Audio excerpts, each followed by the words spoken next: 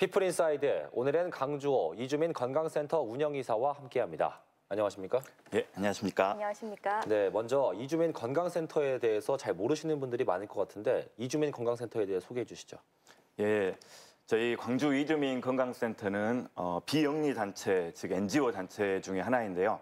어, 2005년도에 그 의료 사각지에 놓여 있는 외국인 노동자들에게 어, 뜻이 있는 의료기관 그리고 의료인들, 시민단체 그리고 종교단체 이런 분들이 어, 이주민들을 위해서 무료 진료소를 개설하였습니다. 그리고 현재는 이제 이런 이주민 그 외국인 노동자 외에도 유학생이나 결혼 이민자들에게도 무료 진료를 시행하고 있습니다. 네. 네, 2005년에 첫 문을 열었다고 하는데요. 현직 의사분들로 구성되어 있다고 하는데 지금 몇 명 정도가 모여 계신 건가요?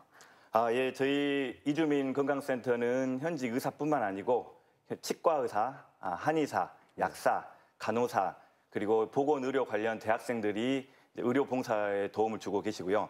그 외에도 일반 직장인들 그리고 최근에는 청소년들까지 중고등학생들까지 이렇게 많이 도움을 주고 계십니다.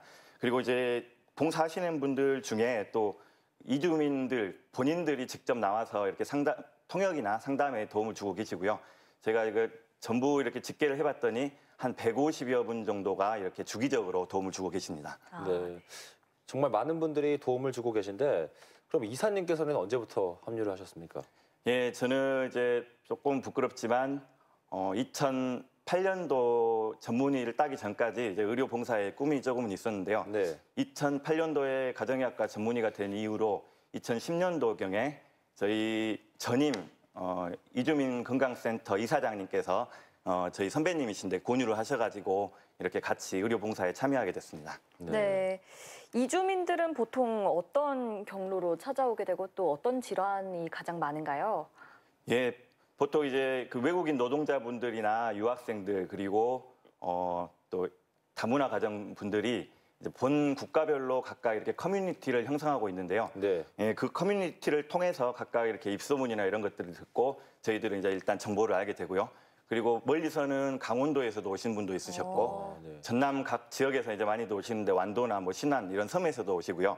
그리고 또 이런 분들이 음, 중국이나 베트남, 우즈벡, 뭐 네팔 그 외에 여러 어, 선진국을 제외한 대 많은 국가에서 오시는데 30여 개국이 넘는 것 같습니다. 네. 그리고 또 2017년도 상반기까지 저희들이 이렇게 통계를 내봤는데요. 어, 저희 개소 이후에 3만 3천여 건 이상의 진료와 1만 5천 건 이상의 투약 기록이 있었습니다. 네. 그리고 가장 이제 질환별로 보면은 통증 질환 환자가 가장 많으셨고요. 네, 네. 어, 근골격계 질환이라고 하는데 그 외에 감기와 같은 호흡기 질환 그리고 또 피부 질환이나 소화기 질환 등이 다빈도 질환으로 보였습니다. 네. 아마 많은 분들을 진찰을 해보셨을 것 같은데 진찰했던 환자 중에 특별히 기억에 남는 환자가 있습니까? 네, 이제 물론 기억에 남는 환자들이 여러 분 계시는데요. 네. 그 중에서 좀 특별히 기억에 남는다고 하면은 어, 완도에 뭐 진찰한 경우는 아닌데 저희 센터에 상당히 중요한 사건이 있었는데 완도에서 미역 공장에서 일하는 태국 여성분이셨어요. 네. 그분이 평일날 저희 센터로 지- 전화를 주셨는데 네. 음, 상태가 매우 안 좋은 것 같아서 저희 주말에 이제 진료 일요일 날 진료를 하는데 일요일 날 진료할 때까지는 기다릴 시간이 없지 않습니까? 그래서 네. 저희 이제 센터에 도움을 주시는 가까운 병원으로 이제 안내를 해드렸어요. 네. 가까운 이용빈 가정의학과로 안내를 해드렸는데 거기서 진찰을 하시고 상태가 뭐 빈혈도 심하고 그 다음에 어 여러 가지 황달 증상 이렇게 굉장히 심각해서 네. 종합병원으로 이송을 하였습니다. 종합병원 저희들이 이제 연계된 종합병원이 있어가지고 그 선암병원이라고 했는데 갔는데 거기서도 진찰이 어렵다 네. 해서 결국에는 화순 전남대 병원까지 이송을 하게 돼서 거기서 영혈성 빈혈이라고 하는데 좀 단계가 심각해가지고 조금만 늦어졌으면 굉장히 위급한 상황이 될 수 있었고 네. 결국에는 치료를 잘 받고 이렇게 본국으로 돌아가신 경우가 있었습니다. 네. 아, 네. 빠른 대처가 좋은 결과를 가져온 것 같은데요. 아, 이렇게 실제 이주민들이 아파도 일반 병원에서는 진료받기가 어려운가요?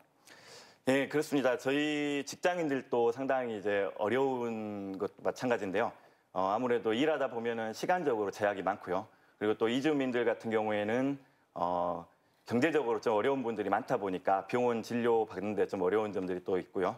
어, 그리고 또 가끔 법적 제약이 있으신 분들이 있습니다. 이분들 네. 같은 네. 경우에는 이제 병원 진료를 받다 보면은 음, 자기들가 이렇게 끌려가는 게 아닌가 이런 어, 두려움을 갖고 계시고 네. 그리고 또 이제 막 한국에 오신 지 얼마 안 되시는 분들은 어디에 어떤 병원이 있는지 정보를 잘 모르시기도 하시고 그다음에 또 어, 의사소통도 네. 잘안 되고 이런 어려운 점들이 있는 걸로 조사되었습니다. 네.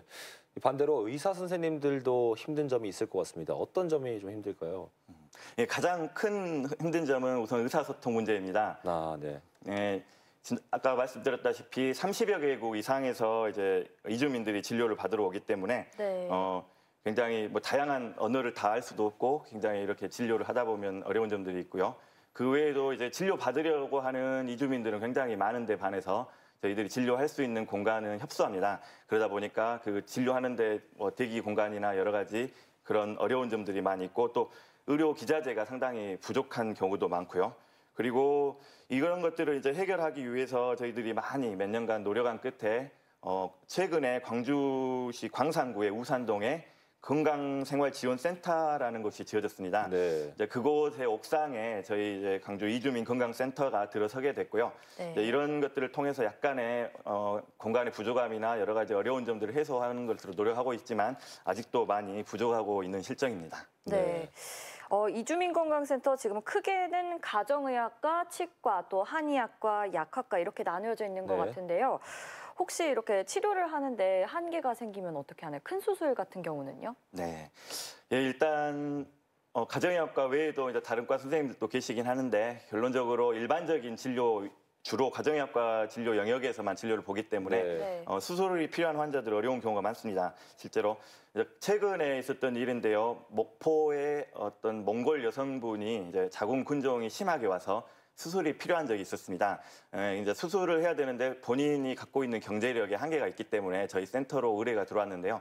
이제 저희 센터에서 그 도움을 주려고 굉장히 수소문하고 노력을 알아본 결과 네. 이제 목포시에 일단 건강 뭐 복지 쪽에 관련된 부서에 도움을 요청하고 그리고 이제 강진의료원이라고 하는 공공병원이 있습니다. 그쪽에 이제 의뢰를 해서 결국 이렇게 수술이 잘 돼서 완쾌한 사례가 있었고요. 네. 그리고 또 그 외에도 전남대 사회복지실 뭐 기독병원, 하남성심병원, 또 첨단병원, 그리고 서남병원, 동아병원, 광주 세우리병원, 그리고 이용빈 가정의학과, 최세미 산부인과, 뭐 베스트 이비인후과, 발근왕과 21 이런 병원들에서 저희들이 필요할 때 검사가 있다거나 또뭐 엑스레이 초음파 뭐 이렇게 경우에 따라서는 여러 가지 수- 치료나 또 심지어는 수술까지도 무료를 이렇게 무료로 시행을 해주신 적이 있습니다. 네. 그렇군요.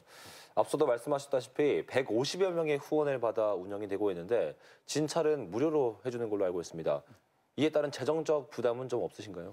네, 아무래도 그 부분이 상당히 어려운 부분입니다. 이제 실제로 그 저희들이 재정을 운영하는 데 있어서 한 150여 분의 정기적인 후원금을 받고 있고요. 예. 그분들은 대부분은 사실 어, 자원봉사를 하고 계신 분들이 많습니다. 네. 자원봉사를 하면서 직접 본인이 후원도 하시고 그리고 이제 여러 기업이나 또 뭐 여러 단체 및 의- 의료기관들 이런 데서 이렇게 비정기적으로 행사가 있을 때 한 번씩 후원을 해주시고요.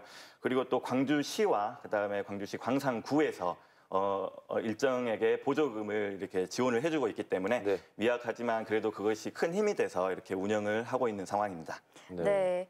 어, 지난달에 진료 600회를 맞으셨다고 하는데요. 소감이 남다르실 것 같습니다. 네, 굉장히 뿌듯하고 기뻤습니다. 일단 그 2005년도부터 11년 넘게 즉 12년째 지금 저희 진료 그 센터가 운영이 되고 있는데요.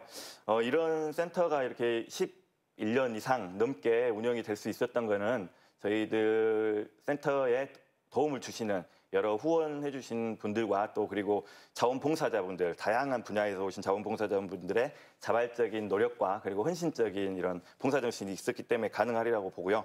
그리고 저 개인적으로도 굉장히 이런 어, 오래된 역사와 또 이렇게 잘 운영이 되고 발전하고 있는 모습을 보면 굉장히 책임감도 더 커지고 굉장히 보람을 느끼고 있는 것 같습니다. 네. 앞으로도 이주민 건강센터의 활동 기대해 보도록 하겠습니다. 이주민 건강센터 강주호 운영이사였습니다. 고맙습니다.